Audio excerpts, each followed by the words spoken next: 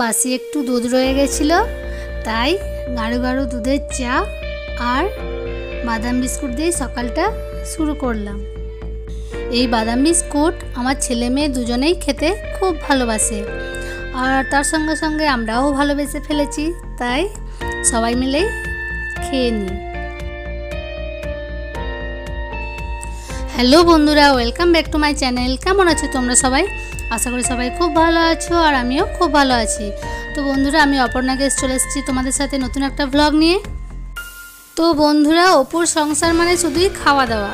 আর ছেলেদের এই খাব, সেই খাব, শুধু মায়ের কাছে বায়না।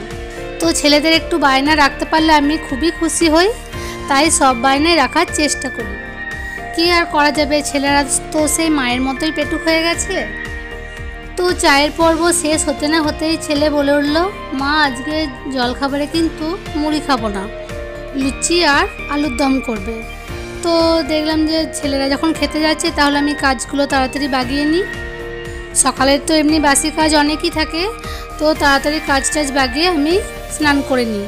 তারপর ঠাকুর প্রণাম করে, তারপর বাকি কাজ সেরে আমি রান্নাঘরের দিকেই চলে আসি।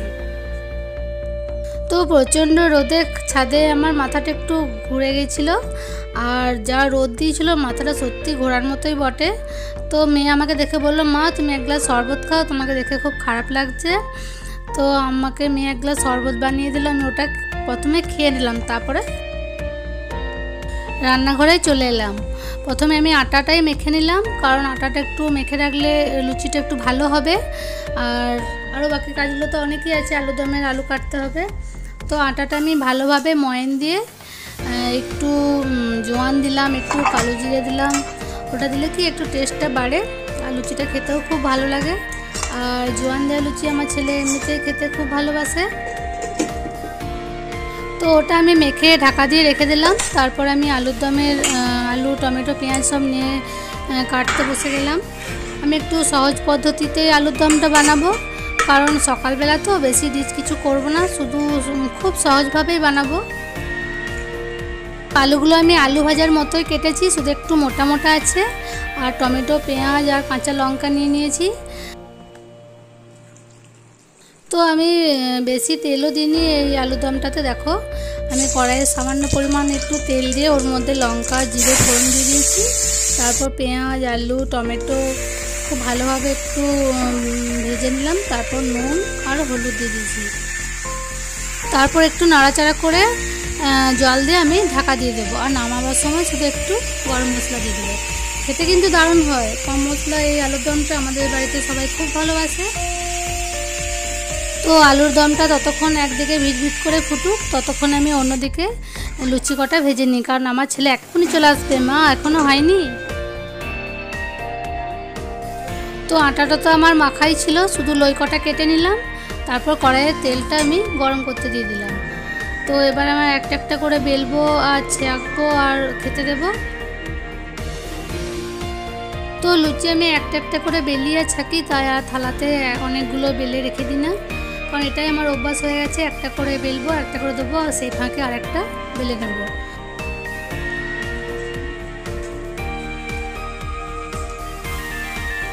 তো দেখো লুচিগুলো বেশ ভালোই ফুলছে।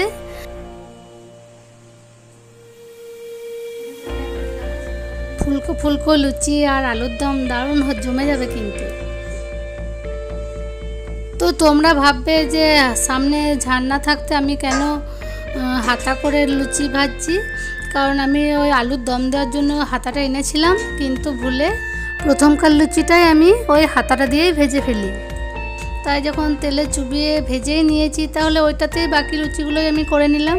লয় দেখো আমার ঝান্নাটা নামানোই রয়েছে, কিন্তু ওটাই ভুল হয়ে গেল। তো আমার দু একটা করে লুচি ভাজা হচ্ছে, আর ছেলে রান্নাঘর থেকে বলে উঠল, মা, লুচিগুলো একটু পাতলা পাতলা করবে, আর যেন সব ফুলে, আর আমাকে খেতে দিয়ে দাও। পাতলা পাতলা করলে কি হয়, লুচিটা আরও একটু সাইজে বড় হয়, তো ওটাই ওর খুব ভালো লাগে ভটোরার মতো।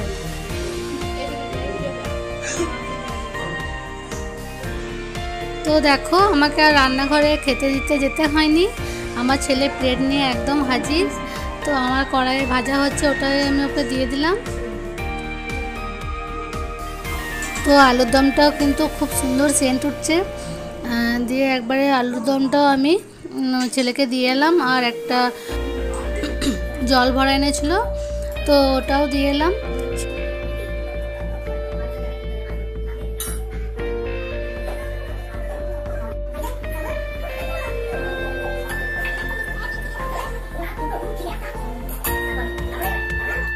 তো ছেলেকে আরও দুটো লুচি একবারে দিয়ে চলে এলাম, আর এক হাতে একবারে মেয়েকেও খেতে দিয়ে দিলাম। তাহলে আমার জল খাবারের সমস্যাটা মিটে যাবে। সবারই খাওয়া হয়ে গেলে, আর শাশুড়ি মাকেও একবার এক হাতে দিয়ে চলে এলাম।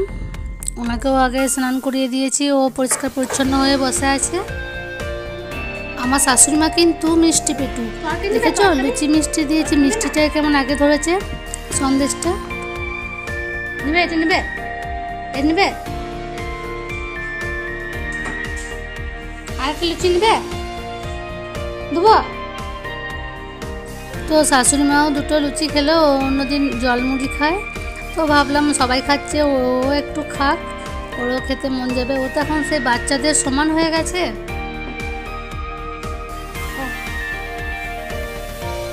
তো সবাইকে খেতে দেওয়ার পর, তারপর আমিও খাবারটা সাজিয়ে নিলাম। আমিও একটু আলুর দম নিয়ে নিলাম আর দুটো লুচি আর একটা সন্দেশ নিয়ে নিলাম।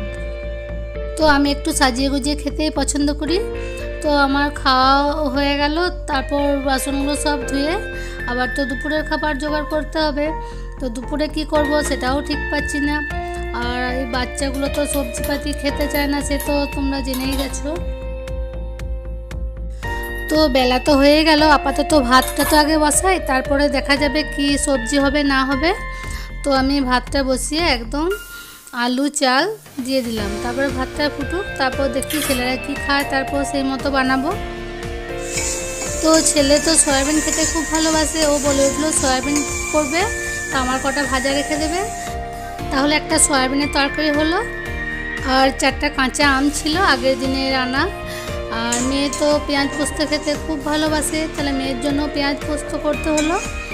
তাহলে আর আজ ডিম ভাজা খাব না বলল। বলল, ডিমটা সেদ্ধ করে ডিমটা মাখা করবে। পেঁয়াজ দিয়ে, লঙ্কা দিয়ে, একটু কাঁচা তেল দিয়ে। আর ছিল পোস্তর বড়া। তো তারপর সবাই একসঙ্গে খেয়ে নিলাম।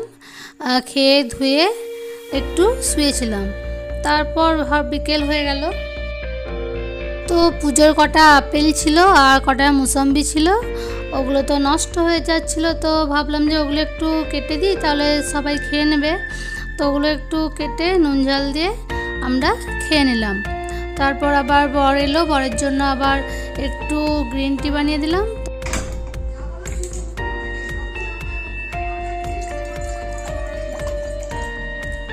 তো গ্রিন টিটা দিয়ে আসছে আমার মনে পড়ে গেল যে ছাদে আমার তো অনেক কাপড় মেলা আছে। তো ওগুলো তো আমার আনা হয়নি। যদিও মাঝে একবার বৃষ্টিতে ভিজে গেছে, তো ওগুলো আমি আনতে চলে গেলাম। তো ছাদে আমার অনেকগুলি কাপড় মেলা ছিল, তো সেগুলো সব আমি গুছিয়ে একবারে নিয়ে চলে আসি ছাদ থেকে। আর ছাদের গাছগুলোতেও একটু জল দিয়ে দিলাম। যদিও মাঝে মাঝে বৃষ্টি হচ্ছে, কিন্তু সে তো আর হচ্ছে না, অল্প স্বল্প হচ্ছে। আবার যা চড়া রোদ দিচ্ছে, সব জল শুকিয়ে যাচ্ছে।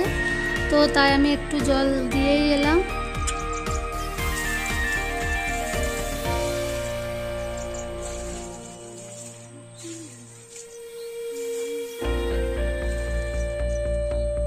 তো জল দিয়ে আসার পর আমি নিচে চলে আসি, তারপর আমার ছাগল ছানাগুলো কি করছে সেটা তো দেখাই হয়নি। তো ওদেরকে একবার দেখে এলাম যে ওরা কোথায় চড়ছে। তো আমাদের সামনেই ছিল দৌড়গোড়াতে ওরা এটুকুর মধ্যেই থাকে। তো ওদেরকে একবার দেখে চলে এলাম।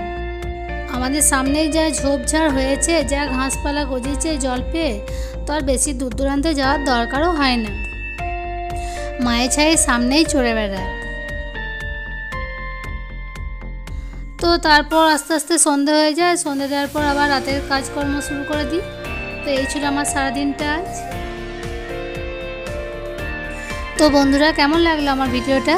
যদি ভালো লেগে থাকে, তো প্লিজ লাইক কমেন্ট ও শেয়ার করে দিও। আর যারা আমার চ্যানেলে নতুন আছে, তারা প্লিজ আমার চ্যানেলটিকে একটি সাবস্ক্রাইব করে দিও। আর আজ তাহলে এই পর্যন্তই থাক। সবাই খুব ভালো থেকো, সুস্থ থেকো, আর আমার ভিডিওগুলো দেখতে থাকো। টাটা!